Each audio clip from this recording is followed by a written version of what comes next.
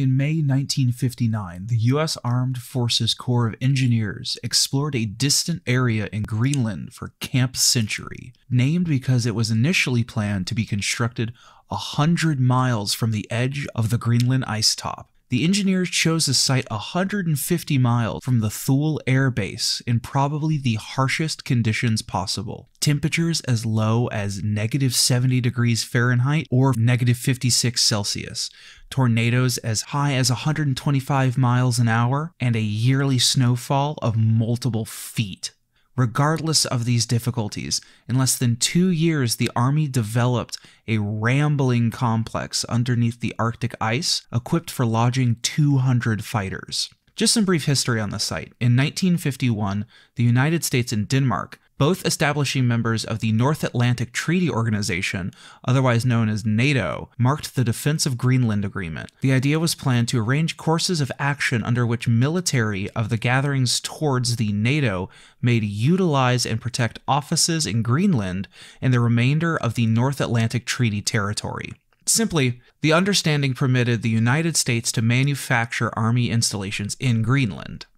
Throughout the following decade, the American military assembled three air bases in Greenland Narsarsuaq, Sondrestrom, and Thule. In the setting of the Cold War, these bases gave a refueling point and supportive activities for moderate range vital aircraft, Moreover, the United States conveyed radar stations in Greenland to keep up a ballistic missile early warning system and a distance early warning line, which would give the United States guidance ahead of time of a Soviet atomic assault. The Thule Air Force Base is the main of the three which is yet to be operational today. Under a thousand miles from the North Pole, it is the U.S. Flying Corps' northmost base.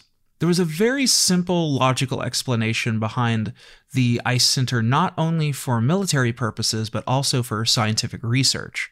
Examples from Camp Century were utilized to make stable isotope examinations used to create atmosphere models. Investigations of soil contained in cases proposes that the site was sans ice as late as 400,000 years prior, demonstrating a much decreased Greenland ice sheet and along these lines, a lot of higher ocean levels. In June 1959, the development Camp Century started and was finished by October 1960, just over a year and four months, which makes it quite astonishing considering the complexity of such a project. Armed Force Designs initially needed to fabricate a three mile street to bring the 6,000 tons of provisions it would require to assemble the $8 million offices. The majority of substantial gear, including vehicles, were brought by sledges known as overwhelming swings, which literally ran at a snail's pace of 2 miles per hour, making it a 70 hour trip from the Thule airbase. Armed Force builds initially utilized Swiss made Peter plows to delve profound channels in the day office. The channels were secured with a top of steel curves and finished off with more day off. Inside the channels, engineers set up pre assembled wooden structures, leaving air gaps on each side to limit liquefying. The biggest chain, known as Central Avenue, was more than a thousand feet in length, the designers bored an opening into the ice, developing a well which gave 10,000 day by day gallons of new fresh drinking water. Protected was a warm funneling tube that was introduced for water and power, while a progression of brake hatches was likely worked if there should be an occurrence of a crisis. At long last, Camp Century comprised of 26 passages, nearly two miles altogether. It included quarters, a kitchen, cafeteria, a med clinic, clothing, and an interchanges community, a diversion lobby, a sanctuary, and even a barber shop. The last bit of Camp Century was the portion of the PM2, a versatile medium force atomic reactor, the first of its kind. This shipment alone comprised of 400 tons of hardware. Everything must be taken care of with extraordinary consideration. In the freezing states of Greenland, metal turned out to be weak and could break for any reason. The camp itself was not a mystery.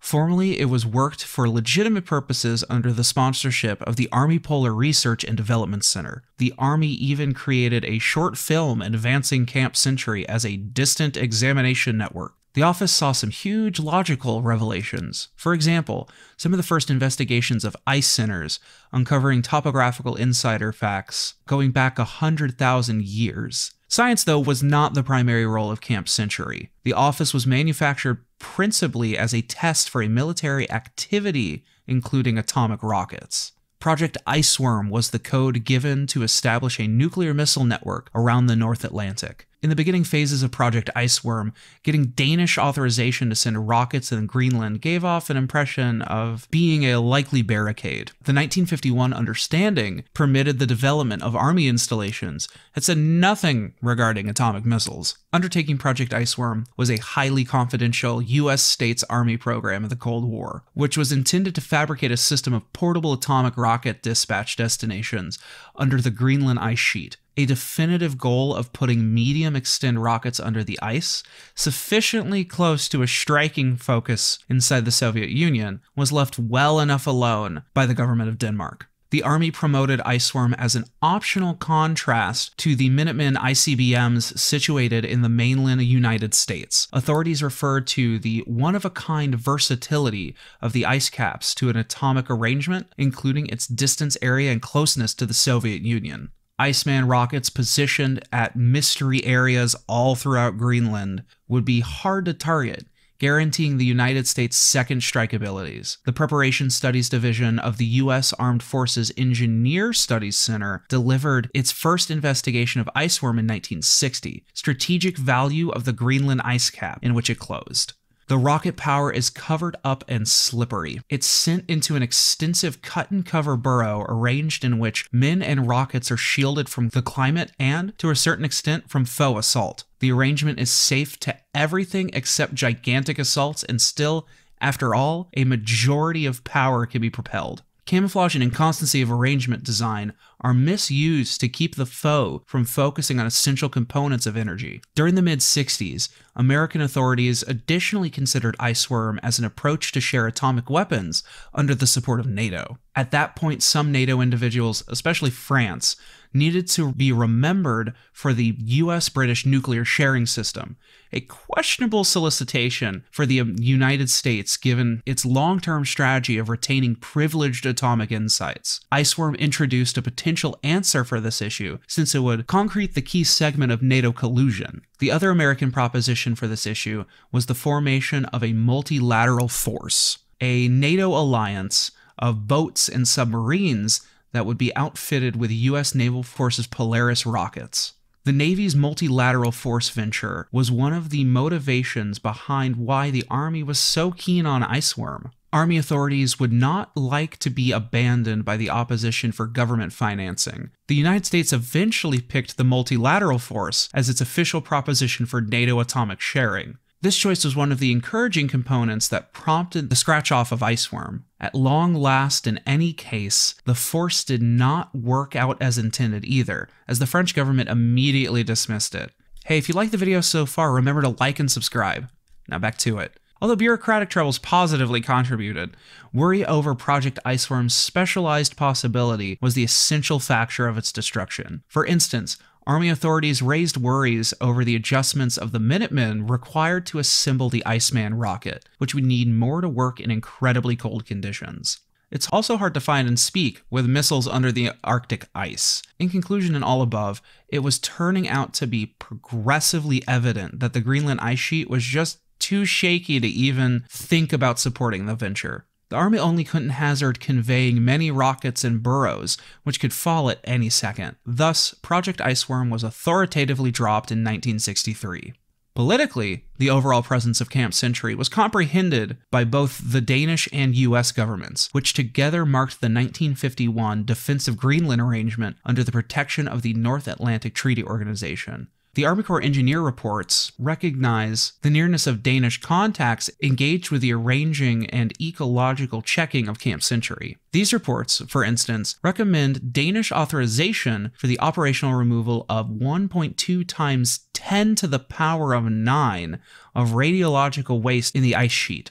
It is scrambled whether Denmark was adequately counseled in regards to the particular decommissioning of Camp Century, and this manner whether the relinquished squanders there remain U.S. property. Article 6 of the 1951 arrangement expressed that all property gave by the government of the United States of America and situated in Greenland will remain the property of the government of the United States of America. It might be expelled from Greenland, liberated from any limitation, or discarded in Greenland by the government of the United States of America after counsel with Danish specialists. Given the global starting point and multi generational heritage of Camp Century, there seems, by all accounts, to be considerable vagueness encompassing the political and legitimate risk related with moderating the likely remobilization of its poisons. Interests likely vary across NATO individuals, especially Denmark in the US. What's more, Canada incompletely on account of the particular degrees of chronicle cooperation in the future of potential contamination introduction. Our examination features that Camp Century currently has an unexpected political importance, considering an anthropogenic environmental change. The likely mobilization of squanders that were recently viewed as appropriately sequestered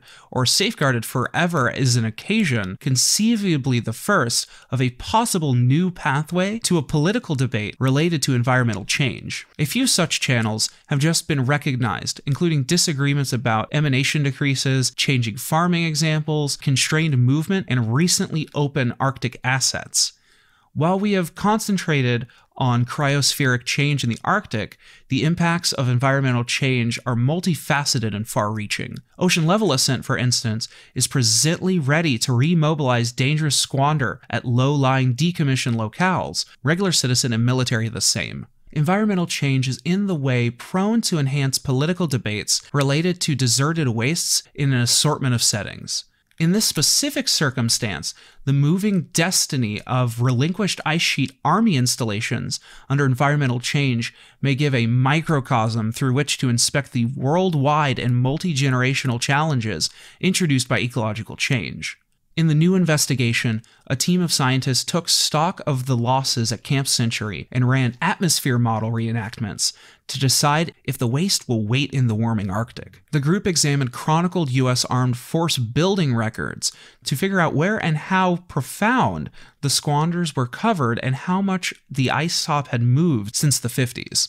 McFerrin investigated ground entering radar from NASA's Operation Icebridge airplane to pinpoint the camp's immediate area and profundity. He said, quote, the radar shows smooth layers of the day office until arriving at the camp. At that point, the signs get untidy. We don't yet have enough detail to plan precisely what everything is down there, however, the diagram is clear. The team found the loss at Camp Century covers 50 hectares, 136 sections of land, generally the size of 100 football fields. They gauge the site contains 200,000 liters or 53,000 gallons of diesel fuel, enough for a vehicle to circle the globe multiple times. Because of building materials utilized in the Arctic at that point, the creators theorized the site contains polychlorinated biphenyls, toxins poisonous to human well being. They additionally gauge the site has 240,000 liters or 63 gallons of wastewater, including sewage, alongside an obscure volume of low level radioactive coolant from the atomic generator. Taking a gander at existing, the same old thing atmospheric projections, the group decided the squanders would not stay encased in ice always, as was expected by both the US, Denmark, when the camp was relinquished. Instead, they could dissolve and reappear in the Earth. At the point when we took a gander at the atmospheric reenactments, they recommended that, as opposed to never ending snowfall, it appears as right on time as 2090, the site could change from clear snow to net dissolve. Camp Century's waste presents a critical natural risk, as per the investigation's creators. At the point when the ice dissolves, poisons could be moved into the sea, where they could upset marine biological systems, the scientists said. Because of ice sheet perceptions close to Camp Century, however, at lower heights, the camp's waste could be uncovered sooner than the examination models foresee, said Jennifer Mercer, a cryospheric researcher with the National Science Foundation, who has some expertise and procedure on the Greenland ice sheet, but was not associated with the investigation. The investigation does not advocate for beginning site remediation exercises at Camp Century now. The waste is covered several meters beneath the ice, and any cleanup exercises would be expensive and, in fact, testing. This indeed turns into a circumstance of holding up until the ice sheet is softened down to nearly uncover the squanders that anybody should advocate for site remediation. In any case, the new investigation brings up issues about who is liable for tidying up the waste when it is uncovered. Global law is clear about duty regarding forestalling future unsafe wastes, however, equivocal about who is obligated for squandering previously disposed of, says Jessica Green, a political researcher representing considerable authority in worldwide ecological law at New York University, who also was not associated with the investigation. Albeit Camp Century was a US base, it is on Danish soil, and even though Greenland is a Danish region, it is self overseeing, she said the implications of environmental change on politically vague relinquished wastes has not been considered previously, as indicated by the examination's creators. That's it for today. If you liked the video, remember like, subscribe, ring the bell, do all that stuff. Y'all have a good one.